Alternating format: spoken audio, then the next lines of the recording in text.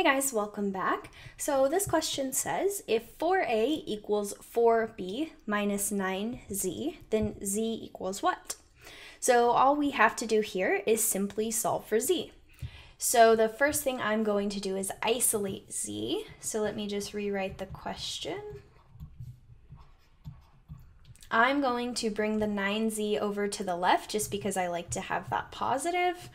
So then I'll add 9z to both sides plus 9z. So we get 9z plus 4a equals 4b.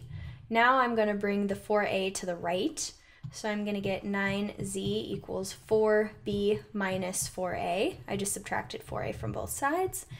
Now I have to divide by 9 to get the z by itself. So I'm going to get z equals 4b minus 4a over 9.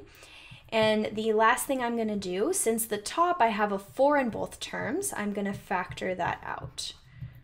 So I'm going to get z equals 4 times b minus a over 9. I probably should have drawn this a little bit lower.